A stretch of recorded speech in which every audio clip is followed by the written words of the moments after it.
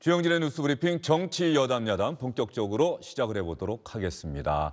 대선이 오늘로 30일 앞으로 다가왔습니다. 30일이면 얼마 남지 않았지요. 대선 후보들의 속이 얼마나 탈지 여러분 짐작하십니까?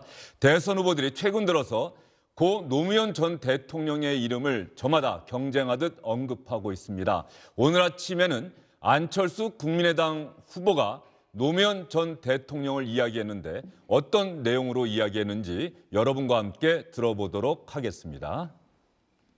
노무현이 없는 지금 또 누군가는 일생을 걸고 정치적 명운을 걸고 국민을 분열시키며 상대방의 실수와 반사 이익만으로 평생 먹고 사는 진영 정치를 타파해야 합니다.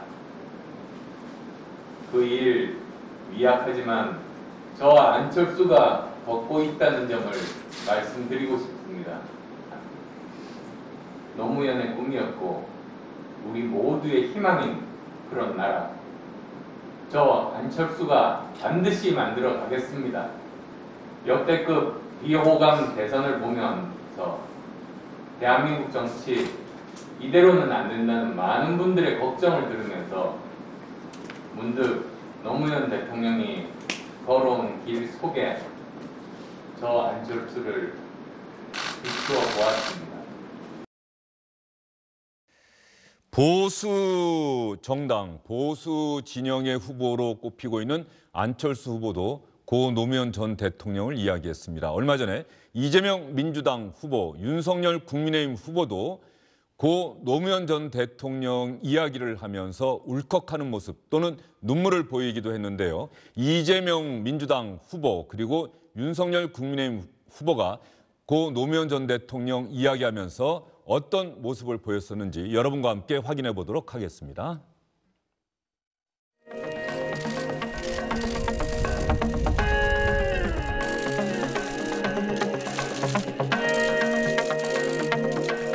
다시 공항에 왔습니다. 이것을 보면 언제나 그 참혹했던 순간을 잊어버리기가 어렵습니다. 사람 사는 세상을 만드는 꿈은 노무현의 꿈이었고 문재인의 꿈이고 그리고 저 이재명의 영원한 꿈입니다. 저는 김대중 정부, 노무현 정부, 문재인 정부를 이어서 사기 민주정부, 이재명 정부를 반드시 만들어낼 것입니다, 여러분. 반칙과 턱받 없는 사람 사는 세상, 이재명이 반드시 완수하겠습니다, 여러분. 고맙습니다. 2007년 노무현 전 대통령께서 주변의 많은 반대에도 불구하고 고뇌에 찬 결단을 하셨습니다. 제주 해군 기지는 국가의 필수 요소다. 무장과 평화가 함께 있는 것은 잘못이 아니다. 이렇게 말씀하셨습니다. 강력한 힘을 바탕으로 한 자주 국방과 평화의 서막을 연 것입니다. 저는 노무현 전 대통령의 고뇌와 결단을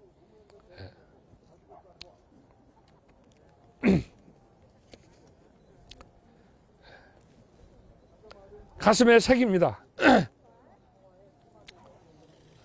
더 이상 이것을 정쟁이 아닌 통합과 평화의 상징으로 저와 우리 국민 모두가 바꿔야 됩니다. 네, 여러분 후보들의 고 노무현 전 대통령 이야기 어떻게 들으셨습니까? 박상혁 민주당 의원, 이상일 전 국회의원과 함께 이야기를 이어가도록 하겠습니다. 두 분 어서 오십시오. 박상혁 의원님 민주당에 몸담고 계시는데 고 노무현 전 대통령 민주당 이재명 후보뿐 아니라 보수 정당의 후보들도 고 노무현 전 대통령 이야기를 하면서 울컥하는 모습을 보이고 있어요. 음, 저도 그 2002년도에 어, 그 노무현 대통령 뭐 조그만 자원봉사 그 선거에서 했던 사람으로서 다시 한번 그 20년 전의 기억이 새록새록한데요. 어, 한편으로는 우리 윤석열 후보가 좀 울먹하는 모습을 보이면서 어, 또 하나 들었던 생각은 노무현 대통령이 계셨던 참여정부 당시에 환생경제라는 그런 연극을 만들어서 노무현 대통령을 그렇게 능욕하고 네. 그다음에 아, 봉하마을을 아방궁이라고 하면서 어, 했던 우리 국민의힘 여러 의원들도 아직도 현존하고 계시는데 이제 노무현 대통령이 가셨던 그 사람 사는 세상에 대한 꿈 그리고 균형, 국가 균형 발전 또 한반도 평화에 대한 그 가치를 뭐 인정하는 다는 취지에서 저는 뭐 한편으로는 네. 긍정적으로 생각합니다. 그런데 정말 그 가치를 정확하게 알고 있는 것인지 예를 들어서 윤석열 후보가 조금 전에 어, 해군 기지에 가서 뭐 여러 가지 자주국방에 대한 이야기를 했는데 노무현 대통령께서 꼭 해보고 싶었던 게 그 전작권 환수, 어, 그리고 동북아의 균형, 균형자로서의 역할, 뭐 이런, 그리고 한, 어, 북한의 핵실험이 있었음에도 불구하고 임기 말까지 14선언을 통해서 한반도 평화체제를 만들려고 했던 그 오랜 꿈, 이런 부분에 대해서 제대로 평가하고 제대로 그 가치를 알고 있는 건지 한편 어, 정말 의아스럽기도 합니다. 예. 그러면 이상일 전 의원님, 윤석열 후보는 왜 노무현 전 대통령 이야기를 하면서 그것도 제주도 강정마을에 가서 이야기하다가 왜 울컥했을까요? 그렇죠. 강정 마을이니까 그런 겁니다. 네. 이제 강정 마을이 어떤 곳입니까? 노무현 대통령이 거기에 해군 기지, 우리 자주 국방을 위해서 해군 기지를 건설하겠다고 했습니다. 노무현 대통령, 지금의 민주당의 지지층이 강력히 반대를 했던 것이죠. 그리고 건설 과정에도 계속 반대가 있었고요. 그러나 대한민국의 안보는 국민 생명과 안전을 지키는 것은 대통령의 가장 큰 우선적인 임무이기 때문에 노무현 대통령은 비록 민주당의 대통령이었지만 그걸 추진을 한 거죠.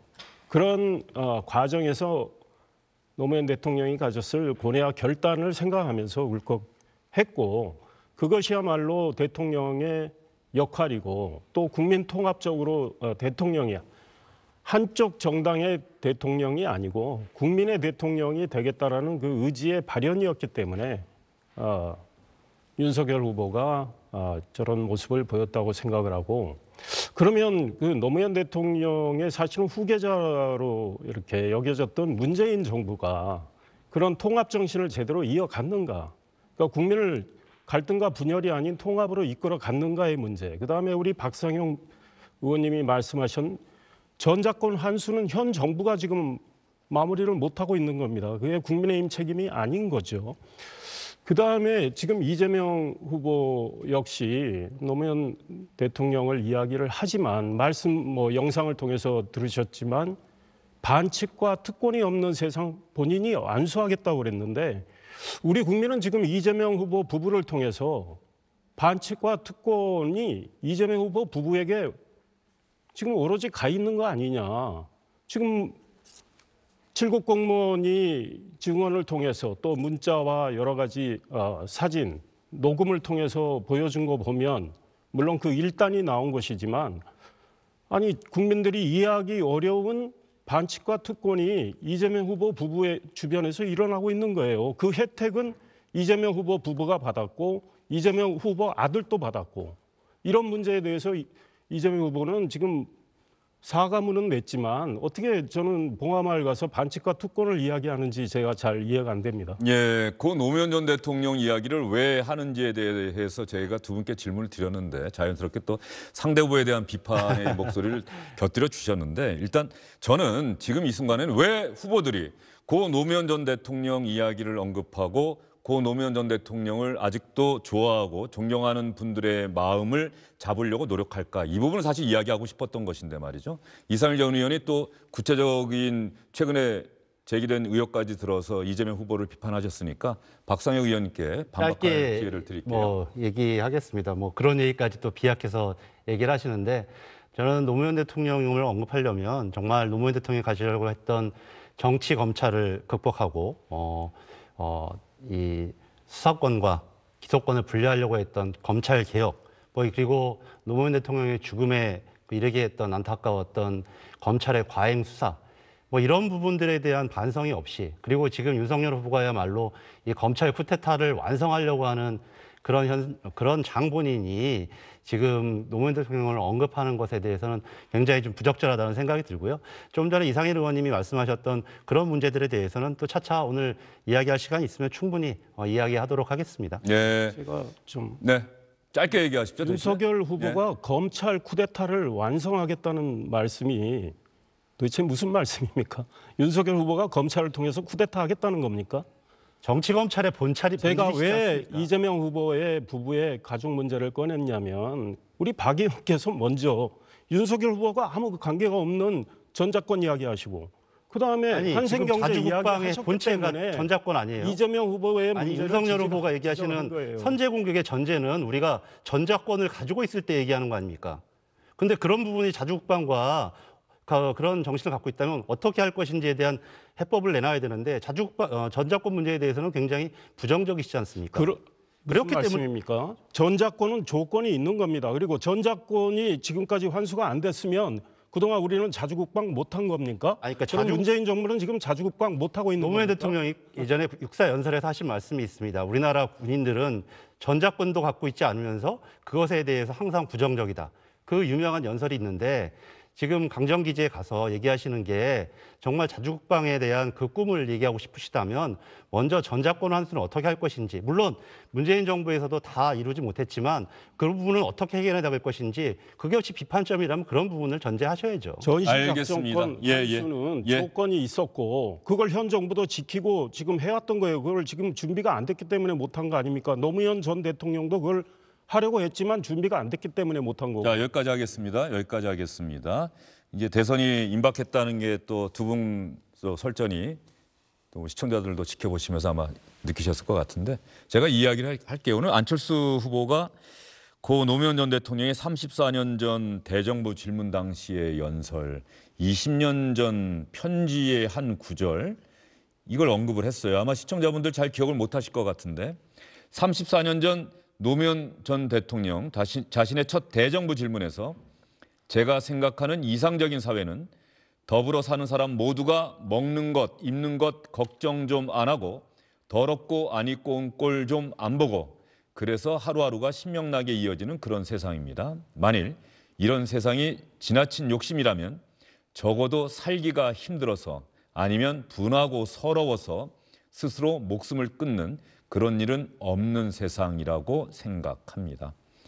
34년 전인데 지금 들어도 여전히 우리 사회에 그대로 지금 이 시점에서 이야기를 한다고 하더라도 지금 이 시점의 이야기라고 많은 분들이 받아들일 만한 이야기다라는 생각이 들고요.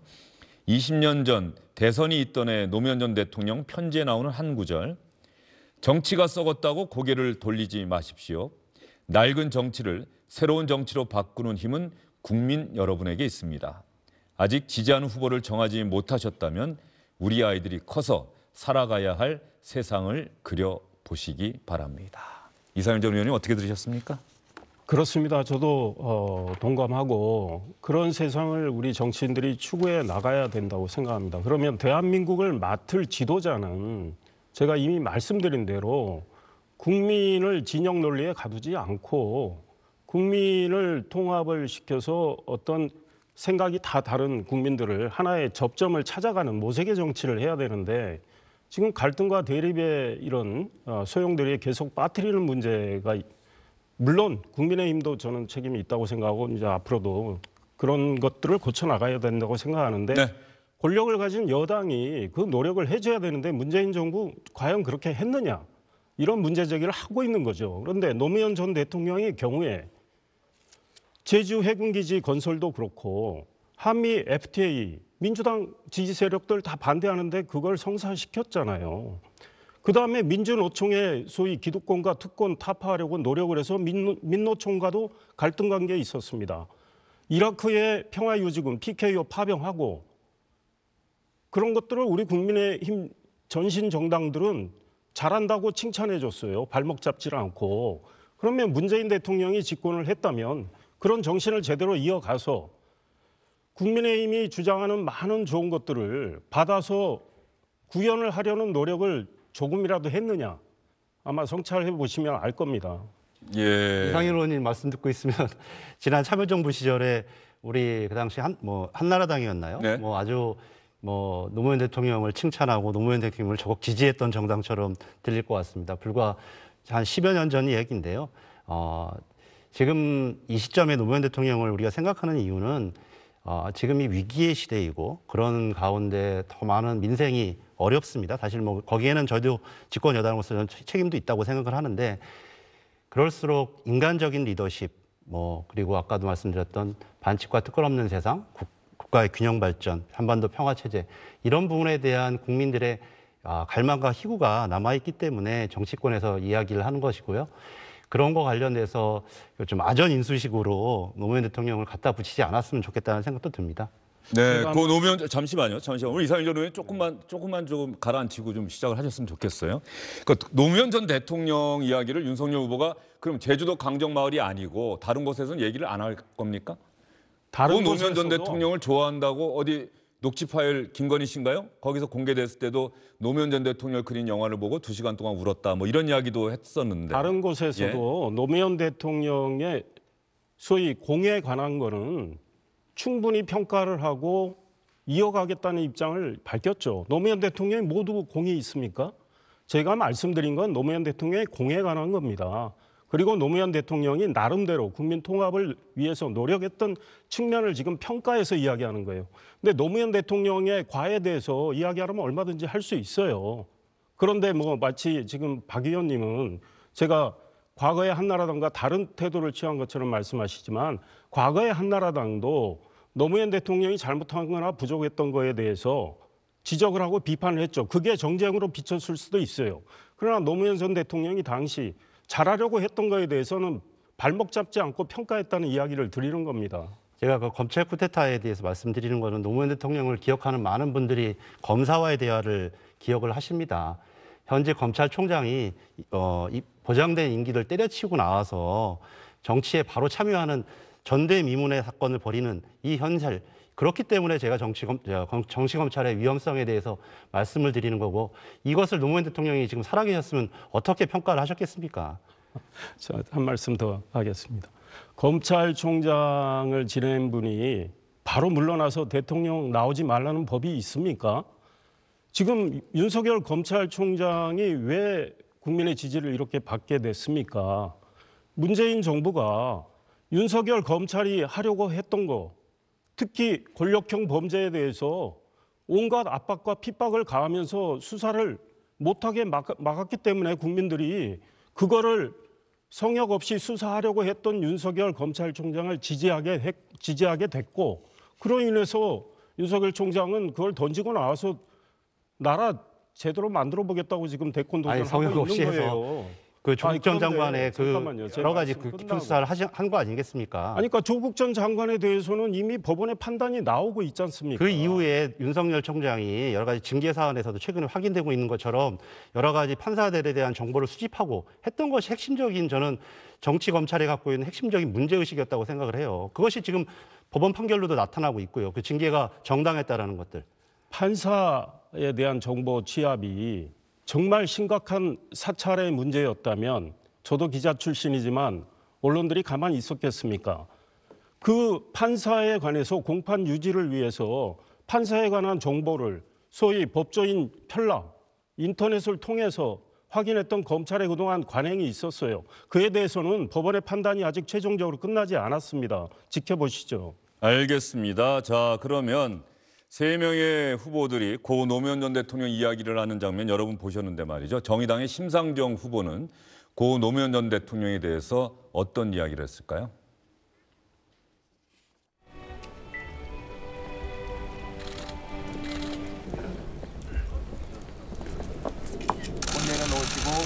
노무현 정신의 핵심은 도전과 용기입니다. 과감한 개혁의 의지라고 생각합니다. 아, 우리 정의당은 노무현 정신과 전태일 정신이 만나서 태어난 정당입니다. 더불어민주당이 원칙을 잃고 좌충우돌해도 저희 정의당은 노무현 정신을 실천하기 위해서 애써왔다고 자부합니다. 노무현의 꿈, 사람 사는 세상을 이어가겠습니다.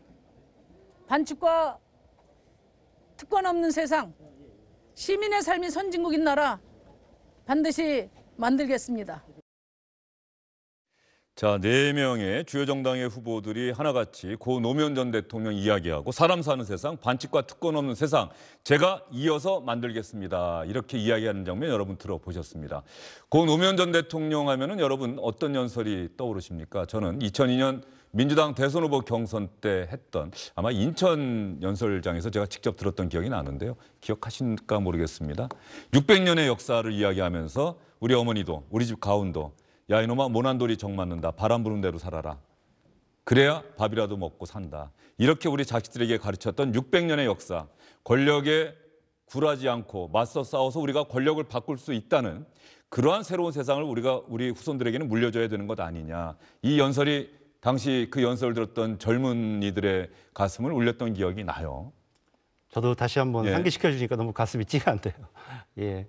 저는 노무현 대통령이 그 가졌던 그 꿈, 말씀드렸던 것처럼 그 반칙과 특권 없는 세상, 그리고 그 당시에 많은 젊은이들에게 주었던 그 용기, 아, 다시 한번 더불어민주당이 조금 부족하다면 다시 한번 그런 부분들 더 어, 성찰하고 함께 특히 이번 대선을 통해서 어, 해야겠다라는 생각도 지금 말씀 주신 내용에서 다시 한번 성찰하게 됩니다. 네, 고 노무현 전 대통령이 사실 재임 기간 마지막 해에는 국정 지지율이 상당히 많이 추락을 했었죠. 측근과 가족의 어떤 부패 혐의 이런 것들이 또 노출이 됐었고, 그래서 나중에는 정권이 바뀌고 수사가 시작되고 나서는 고 노무현 전 대통령의 측근들조차도 이제 친노는 패족이 됐습니다라고 국민에게 머리 숙여 사과하는 일까지 있었는데 고 노무현 전 대통령의 서거 그리고 서거와 함께 세상에 던졌던 짧은 마지막 편지 한 장 이런 것들이 아마 우리 국민에게 아마도 모든 것을 던져서 세상에 자신의 할 이야기를 하는 그런 고 노무현 전 대통령의 이미지를 형성한 것 아닌가. 그러면 윤석열 후보 같은 경우도 제가 아까 여쭙고 싶었던 건 바로 이거예요. 왜 윤석열 후보가 보수 정당의 후보인데 민주당 소속의 고 노무현 전 대통령 이야기를 하면서 울컥하는 모습을 보였을까? 저는 그뭐 이 문제에 이건 진영을 대해서 넘- 넘어서는 네, 문제란 그렇습니다. 말이죠. 아니 그래서 제가 이 예. 공에 대해서 이야기하는 과정에서 그분의 고뇌와 결단을 이야기하지 않습니까? 그러니까 지도자가 됐을 때 우리가 그 뭐 새는 한 한쪽 날개로 못 날다는 이야기가 예. 있지 않습니까? 그래서 양쪽의 날개로 날아야 되는데 대한민국의 지도자가 됐을 때 소위 보수의 가치, 진보의 가치를 다 헤아리면서 나름대로 균형 감각을 추구해 나가려고 했던 점에 대한 평가라고 생각을 합니다. 그러려면 결국은 국민 통합을 또 지향해야 되는 거고요. 네. 그래서 노무현 대통령 저는 개인적으로 그 굉장히 존경하는 아, 그 측면이 뭐냐면 본인이 종로에서 국회의원 또 될 수 있습니다. 그러나 지역 감정을 타파하겠다고 해서 부산에 내려가서 그 어려운 곳에서 낙선을 하지만 그로 인해서 노무현 대통령을 사랑하는 분들이 훨씬 늘어나게 되는 거죠. 네. 그걸 온몸으로 보여줬던 거죠. 그런 정신들을 대통령이 되고 나서 구현하려고 노력을 했기 때문에 저는 윤석열 후보가 평가를 한다고 생각하고 우리 주앵커님 말씀 가운데 노무현 대통령 권력에 굴하지 말고 맞서라. 이거 윤석열 후보가 검찰총장으로 했던 거라고 저는 생각합니다. 예, 알겠습니다. 또 우리 박성혁 의원님 마지막 정리하는 말씀 한번 해보시죠. 고 노무현 전 대통령. 뭐 노무현 대통령 얘기를 다시 뭐 얘기하시는데 조금 전에 얘기했던 권력에 굴하지 맞서 어, 굴하지 말고 맞서라는 게 윤석열 후보가 그 가치를 계승하고 있다라고 생각하지 않고요. 좀 전에도 말씀드리고 있던 것처럼 검찰 권력이라고 하는 아주 전대위문의 독보적인 권력을 가지고 자신의 권력을 사유하는데 어, 모든 것을 바치고 그것이 지금의 현재 대통령 후보까지로 어, 만드는데 저는 결정적인 역할을 했다고 생각합니다. 정말 노, 저 윤석열 후보가 그런 가치를 아셨, 아셨다면 정치를 하지 말거나 오랫동안 좀 더 성찰을 했어야 된다고 생각을 하고 그것이 저는 왜 반증이 되냐면 대- 국민들께서 윤석열 후보에게 바라는 것 여러 가지 뭐 여론조사도 좀 이따 얘기하겠습니다만 그런 것이 아니라 복수 이런 부분을 가지고 지금 윤석열 후보를 지지한단 말이죠. 그러니까 결국 그런 가치를 좀 공유하거나 계승하고 있다고 생각하지는 않습니다. 알겠습니다. 고 노무현 전 대통령 이야기하다 보니까 최근에 지난 주말과 휴일 사이에 민주당에서 좀 일이 있었던 것 같아요. 송영길 대표가 해당 본부에 대해서 경고했다는 이야기도 나, 나왔는데 이게 고 노무현 전 대통령의 생전의 영상을 활용을 해서 고 노무현 전 대통령도 이재명 후보를 지지합니다. 당이 만든 게 아니고 지지자가 만들어서 이거를 델리 민주면은 공식 사이트 아닙니까? 공식 사이트는 맞습니다. 그렇죠. 예, 예. 거기에 올려서 어쨌든 공개가 됐었던 것 아니에요? 뭐 선거철이면은 뭐 각 당에서 좋은 여러 가지 컨텐츠들을 지지자들께서 만드시고 그런 부분들이 또 인기가 있으면 좀 뭐 공식 사이트로도 회자가 되기도 하고 의원들이 어, 공유도 하고 하는데 그런 과정에서 좀 벌어졌던 일이라고 생각을 하고요. 저는 이 부분이 좀, 좀 의아한 게 네. 아니 저 민주당에서 노무현 대통령의 성대모사를 한 거지 않습니까? 그런 부분을 어, 적극적으로 그 부분이 조금 뭐 내용적으로 좀 부족할 수는 있겠지만 하지 않는다면 누가 하겠습니까? 만약에 저희가 박정희 대통령의 성대모사를 가지고 했었다면 굉장히 뭐 비판받을 소지도 있었고 오히려 여러 가지 억측이 나올 수도 있겠지만 노무현 대통령의 성대모사를 가지고 지지하는 얘기를 한다라는 것이 왜 비판받을 소지가 있는 것인지 잘 모르겠습니다. 솔직히 저는 개인적으로. 예, 그렇습니까? 그런데 박성 의원이 그렇게 말씀하셨는데 송영길 대표는 왜 해당 본부에 대해서 경고의 메시지를 뭐 아마 냈을까요? 그 부적절하다고 판단했으니까 내용 자체가 저- 뭐 완벽하거나 네. 수준이 높아, 높지 않아서 뭐 그런 것일 수 있는데 저는 제 개인적인 네. 생각입니다만 그것은 더 적극적으로 좀 장려해야 될 일이라고 생각을 하고요. 저도 유세단에서 그런 아이디어도 좀 생각도 해보기도 했었습니다. 적- 역대 대통령들에 대한 것들. 우리가 미국 같으면은 전직 대통령들이 같이 나와서 함께 그 당의 후보를 유세도 해주고 지지도 해주고 심지어는 전당대회 때 전직 대통령들이 다 나와서 그런 모습들이 있지 않습니까? 굉장히 아름다운 전통으로 갖고 있는데 우리는 오히려 그런 부분들에 대해서 굉장히 좀 터부시하고 뭔가 선거법 위반 소지도 있다 뭐 이렇게 얘기를 하는데 저는 지금 개인적인 입장이지만 이게 왜 문제가 되는지 좀 알 길이 없습니다. 그런 측면에서 보면은 살아있는 전직 대통령도 김대중 전 대통령도 마찬가지고 생전에 노무현 후보를 지지한다고 공개적으로 얘기를 했었나 잘 모르겠어요. 우리는 아, 현직이셨으니까, 우리의, 예. 우리의 이제 그 문화가 우리의 문화가 전직 대통령 문화가 대통령직을 떠나고 나서도 어떤 진영의 대통령이 아니라 전체의 대통령이다. 그래서 같은 정당 후보에게 마음 가는 건 당연한 일입니다만 공개적으로 그런 얘기를 하는 것은 상당히 경계하지 않았었나, 삼가지 않았었나 하는 생각이 든단 말이에요. 근데 안타까운 예. 게 김대중 대통령이 현직이실 때 이제 후보였고 네네. 말씀하셨던 것처럼 정확하게 그 문화를 이어갈 수 있는 우리의 정치 어떤 계기가 없었죠. 다 비극적인 다 상황들이 있었기 때문에 그런데 우리가 미국의 대통령 전당대회를 보면서 그 마지막 전날 클린턴이 나오고 오바마가 나와서 네. 뭐 이런 부분들 얼마나 아름답고 멋있는 전통이라고 생각을 합니까? 지금 물론 노무현 대통령께서 안 계시지만 그런 마음, 지금 민주당이 더 잘 됐으면 좋겠다는 마음, 민주당 후보가 이번에 됐으면 좋겠다는 마음, 그리고 이재명 후보와 함께 그 반칙 없는 세상, 그리고 사람 사는 세상에 대한 것을 공유할 것이라는 것은 많은 부분이 인정하실 거라고 생각해요. 그래서 저는 개인적으로 이런 문제가 왜 됐는지 저는 솔직히 잘 개인적으로는 이해가 안 됩니다. 근데 저는 돌아가셨기 때문에 이 세상에 안 계신 분을 어떤 선거 운동에 활용하는 것 이 부분에 대해서 민주당 안에서도 이건 부적절하다는 판단이 있지 않았나 싶은 생각이 좀 드는 거죠.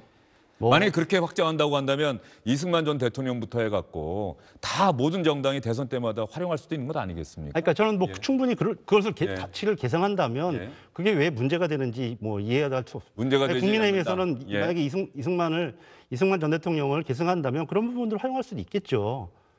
국민의힘이 왜 합니까 그걸 지금 아니, 그러니까 제가 주행권 네, 네. 말씀대로 예. 돌아가신 분을 우리가 그 정신을 기리고 이어받고 추모하면 되는 겁니다. 그분이 그 육성을 다시 한번 활용을 해서 선거에 쓰인, 쓰게 한다는 게 그게 온당한 겁니까? 그게 그렇게 하는 걸 장려하고 싶다는 저는 박 의원님의 말씀이 이해가 안 되고요. 오죽하면 민주당 내에 그 댓글도 보세요. 민주당 지지자들조차도 이거 왜 이러는 거냐 이런 이런 댓글이 압도적으로 많아요. 그러니까 송영길 대표도 그에 대해서 경고 조치를 한 거고. 그러니까 거기에 그래서 아직 잠깐만요. 다, 예, 무슨 제- 말씀인지 알, 아니, 압니다만 제 이야기 제가 뭐 당의 저는 공식- 여러 차례 지금 말씀하시는 거 계속 듣고 있었습니다. 아니, 그러니까 당의 공식 지금 짧게 아니라. 이야기하는 예, 하고 있는 상황에. 그거를 끊으시면 어떡합니까? 그래서 박 의원님처럼 생각하시는 분이 얼마나 많을지 몰라도 민주당 내에서도 아 이런 걸 이렇게 방치했다가는 오히려 선거에 독이 됐고 마이너스가 될까봐 그렇게 내리는 조치를 하고 경고를 한 거로 생각하고요. 국민의힘에서는 이럴 일 전- 절대 없을 겁니다. 예, 알겠습니다. 어쨌든 박상혁 의원의 개인 생각을 전제로 해서 이게 왜 문제가 되는지 모르겠다는 그 견해를 밝혀주셨는데 어쨌든 민주당 안에서도 또고 노무현 전 대통령을 좋아하는 분들 또 문재인 대통령을 좋아하는 분들 이재명 후보를 좋아하는 분들 사이에 생각이 완전히 일치하는 것 같지는 않다 이런 생각은 좀 들어요. 그런 부분들이 뭐 현실적으로 있죠. 왜냐하면 뭐 전당대회가 끝나고 다 뭐 예를 들면 이낙연 후보를 지지했던 네. 분들이라든지 이런 분들이 다 완벽하게 이재명 후보를 좋아하는 것은 아니지 않습니까? 뭐 국민의힘에서도 홍준표 후보를 지지했던 분들이 다 윤석열 후보를 지지하는 것은 아닌 것처럼 그런 부분이 전 일정 정도 있다고 생각을 하는데 어, 저는 그런 측면에서 더 어, 대승적으로 우리가 민주당 안에, 실- 안에 민주당을 지지하는 많은 당원들이라면 더 힘을 모아야 된다고 생각을 하고 우리가 계승해야 될 것은 노무현의 정신, 김대중의 정신. 이런 부분이라는 측면에서 저는 뭐 제가 좀 뭐 장려해야 된다는 것이 과할 표현이었 는지 모르겠습니다만 그것이 크게 문제가 되지는 않는다고 생각을 합니다. 알겠습니다. 안녕하십니까 주영진입니다. 더 많은 뉴스와 라이브 이벤트를 보고 싶으시다면 화면 오른쪽을 눌러서 구독해 주시기 바랍니다. 저희 SBS 앱을 다운로드 받으시면 뉴스 속보 알림도 받아 보실 수 있습니다. 텔레비전으로도 SBS 뉴스, 유튜브로도 SBS 뉴스 잊지 마시기 바랍니다.